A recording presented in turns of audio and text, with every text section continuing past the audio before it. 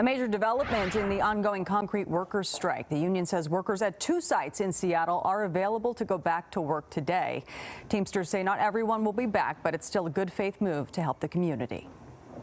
It doesn't make sense to send everybody back to work because that would be us capitulating to what the companies want. But at the same time, we don't want the communities to be harmed any more than they already have been. So we are doing our best to move this process forward. And we're hoping that this will cause the employers to maybe also take some steps to move this process forward to a resolution. Workers have been on strike since December. They're asking for better wages, medical benefits, and pensions.